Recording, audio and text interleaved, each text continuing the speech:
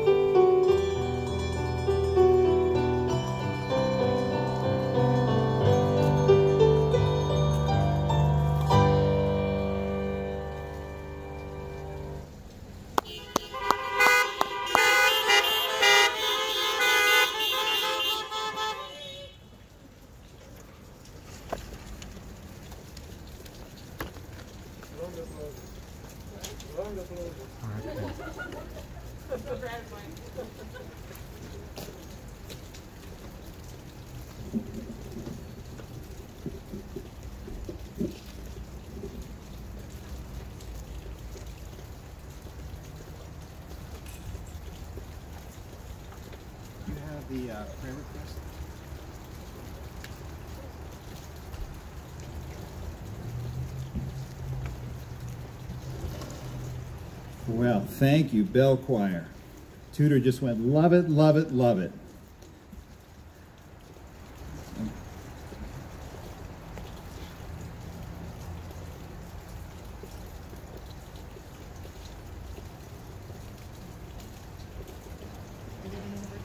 Okay. We're trying to make sure we get all the prayer requests in, and we thank everybody for sharing those with the deacons. We thank the deacons for their hard work. Yeah, I don't know what that I don't know what that song was the bell choir played, but it sure did ring a bell. No, not a single honk for that joke. Thank you, thank you. Now you're not just pity, you're just pitying me. Well, there is much going on in the world to pray about. So let's first take a few deep breaths and invite God's presence into our hearts and minds. Scripture says that when we don't know what to pray, the Holy Spirit prays through us and for us in groanings too deep for words.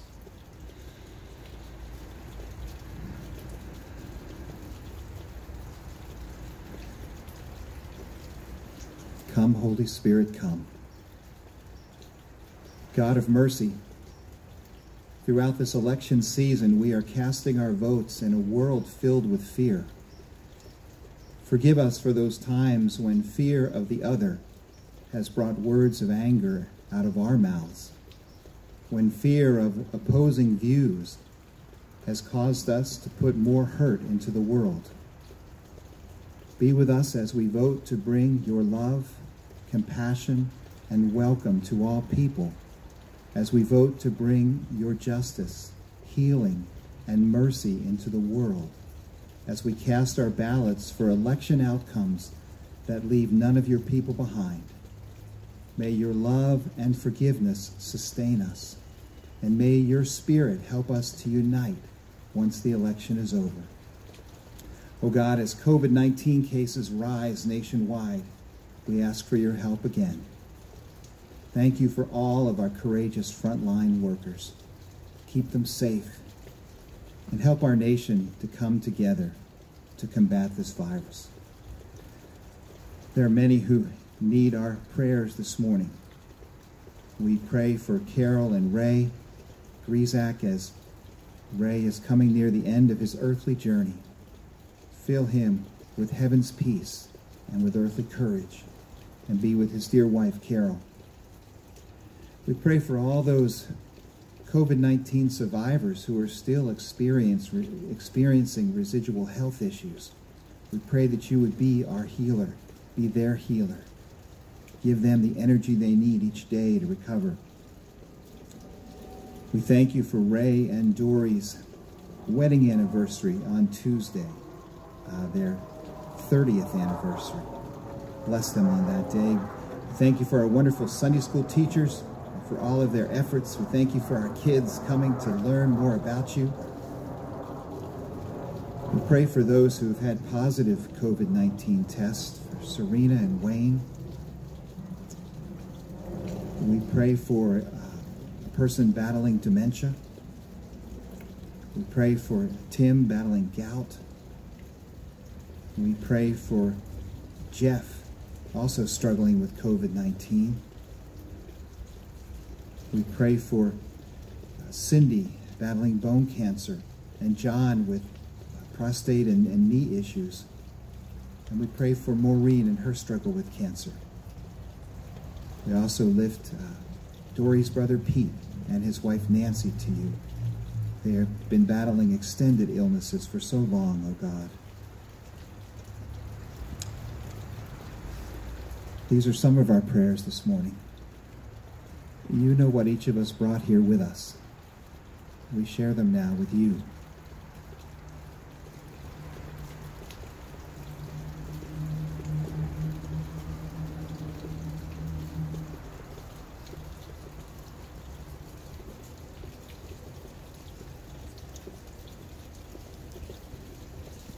Oh God, thank you for receiving us when we come to you, for we come in the strong and precious name of Christ our Savior.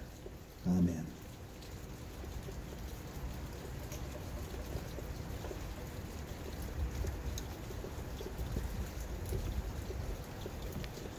Well, I've mentioned that this month our Sunday school kids are studying the most important parables that Jesus ever gave.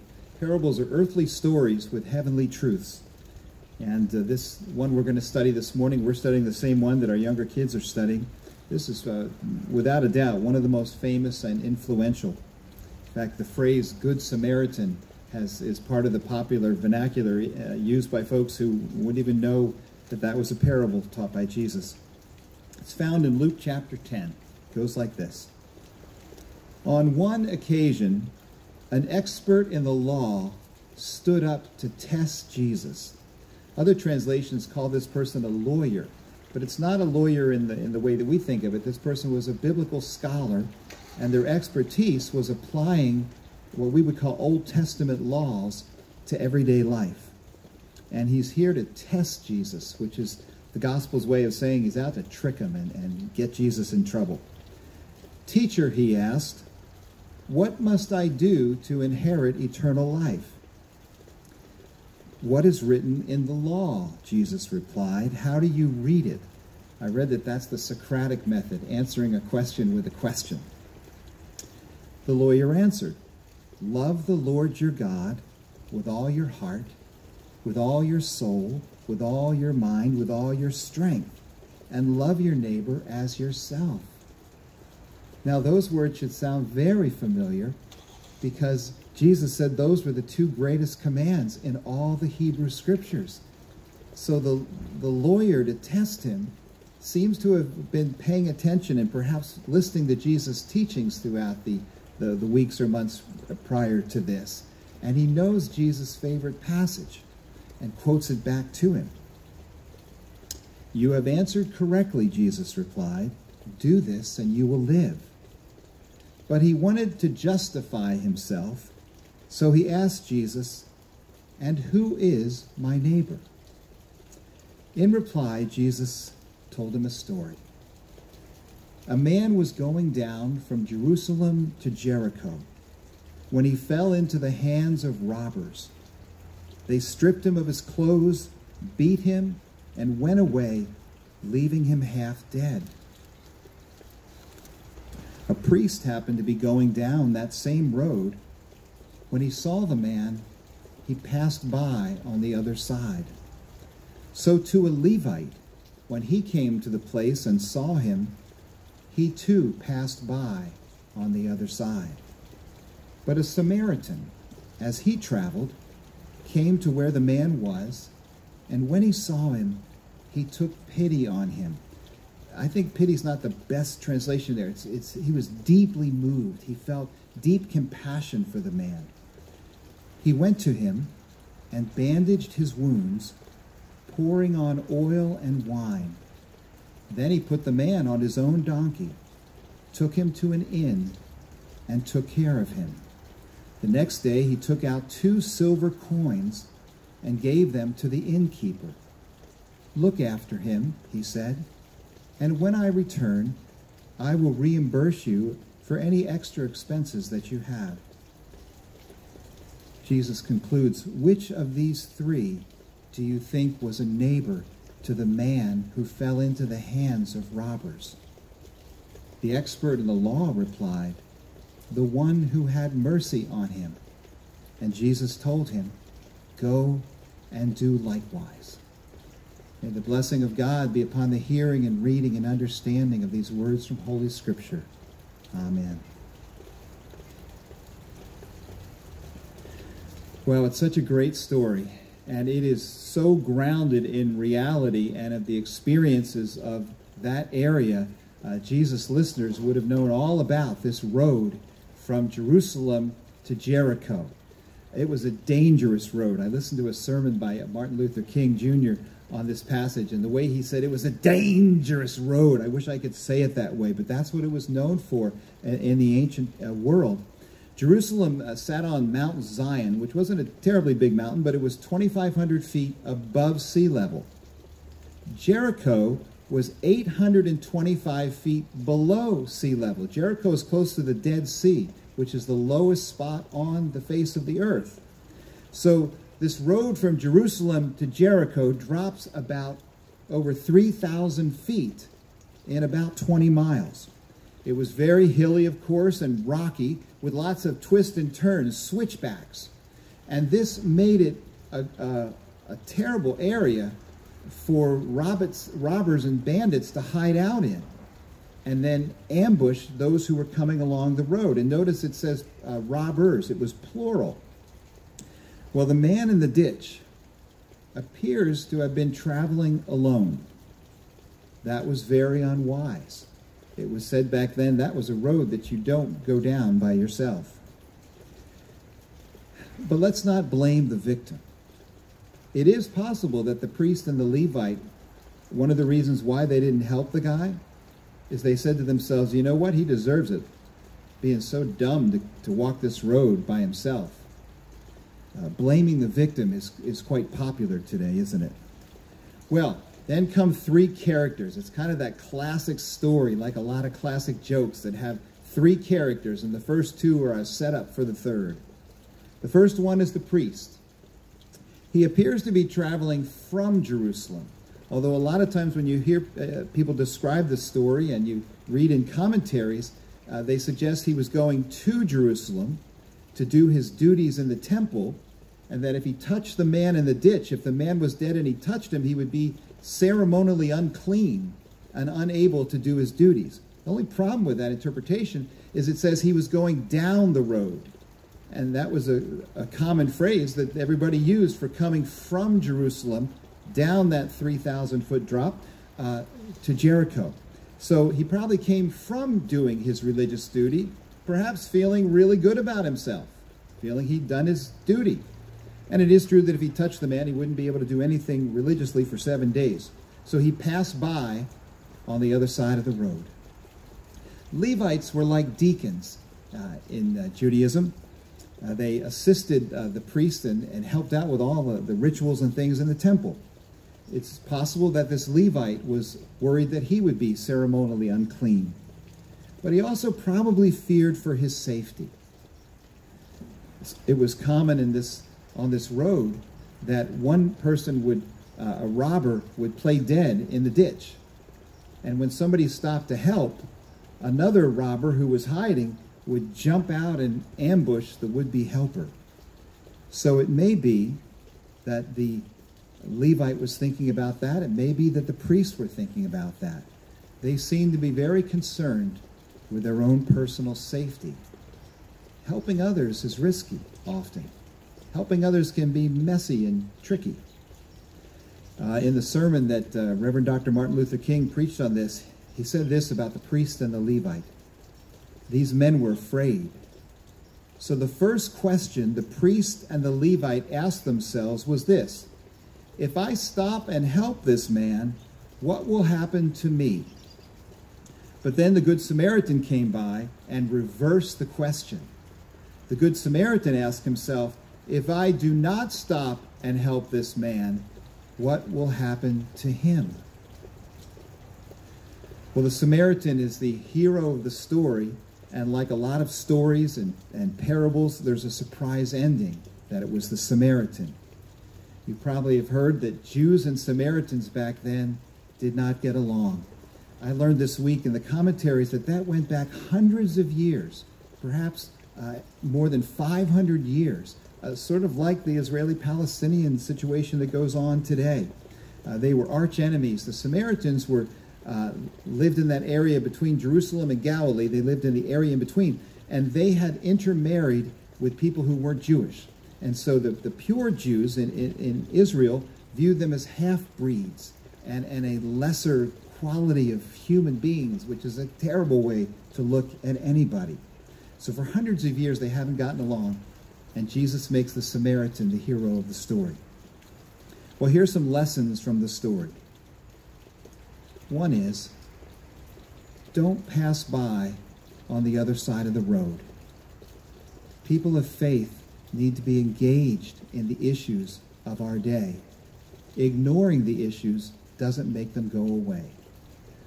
Martin Luther, the great Protestant reformer, said Christianity helps us face the music, even when we don't like the tune.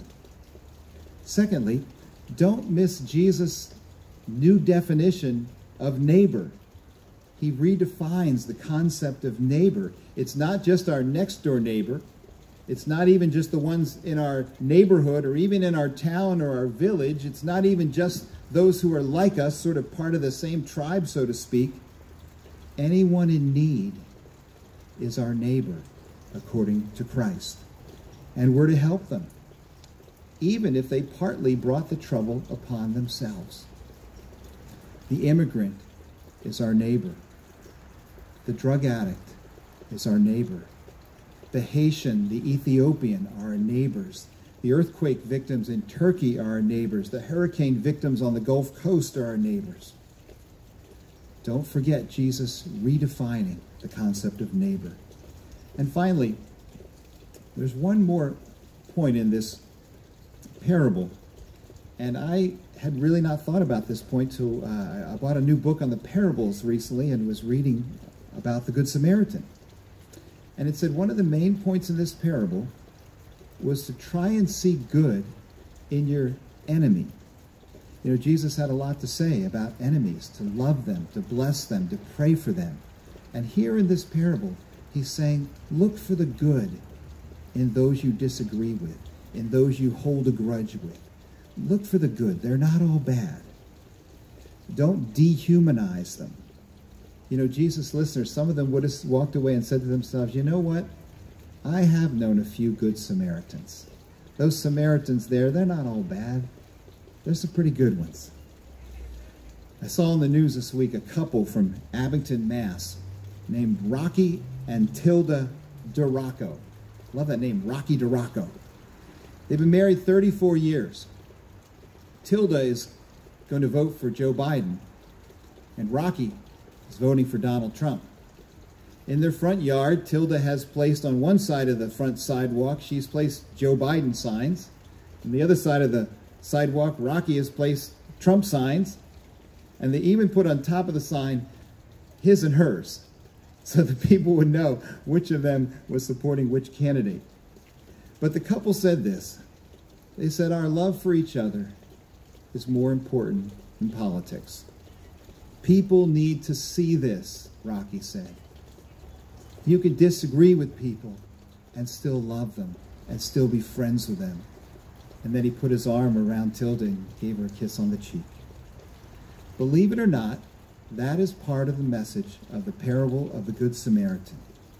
That there's something more important than politics, more important than nationality, more important than old grudges, more important than tribalism, and that is love. Let's pray.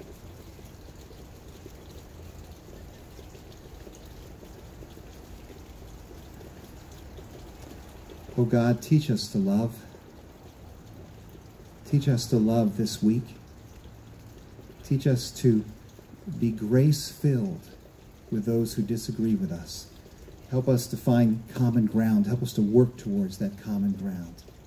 But help us to work towards that with your love that is in us. In Christ's name, amen. Our communion hymn is on the back page of your program. It's Let Us Break Bread Together on Our Knees. Let's sing it together.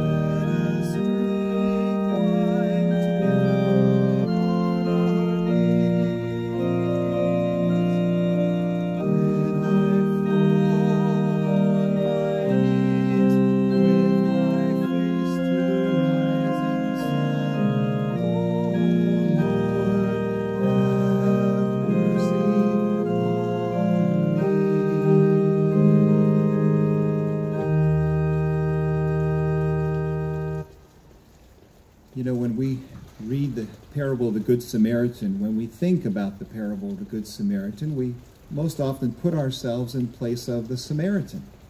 And that's totally understandable because Jesus said, Go and do likewise. But what if we saw ourselves as the man in the ditch, beaten up by the cruelties of life, bruised by the hardships and the injustices we faced, needing tangible, tender, loving care? Can we see communion as God's tangible, tender, loving care? It's a meal of grace and love. It's a meal that celebrates God's presence with us always. And that presence and love can bind up our wounds and begin to heal our brokenness. In this year of hardship and brokenness, perhaps that's why communion has become even more special to us. Would you grab your, uh, your bread and your cup? Let us pray. Precious, tender God, the man in the ditch found safety, warmth, and nourishment in the inn where he recovered. May this time and place be our shelter. May this bread and this fruit of the vine be our nourishment to give us the healing we need and the strength that comes from you. Bless these elements to our bodies and us to your service. In Christ's name, amen. We'll start with the bread first. On the night in which Jesus was betrayed, he took bread and gave thanks. Afterwards, he broke the bread and gave it to his disciples and said, Take and eat. This is my body, which is broken for you. Do this in remembrance of me. In the same way, after supper, Jesus took the cup, and he blessed and gave thanks for it. And he gave it to his friends and said, Take and drink. This cup is the new covenant that I am making with you in my blood, which is shed for your forgiveness. Do this as often as you drink it in remembrance of me.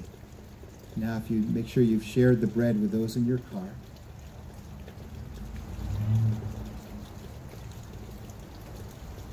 The body of Christ was broken for you that we might be made whole. Take and eat.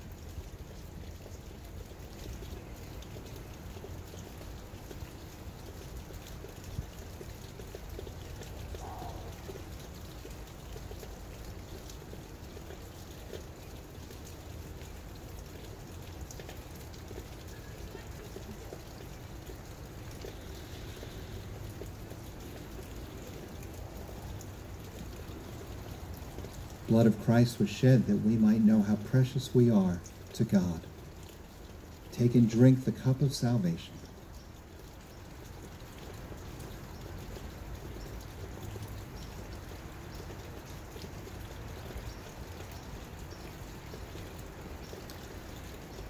The body and blood, the love and grace of our Lord and Savior Jesus Christ keep and preserve us unto everlasting life. Amen. Let's pray.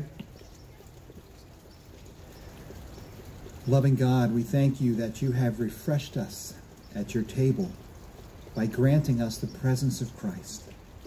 Strengthen our faith, increase our love, and send us forth into the world in courage and peace, rejoicing in the power of the Holy Spirit. We pray all these things in the name of him who taught us to pray. Our Father, who art in heaven, hallowed be thy name.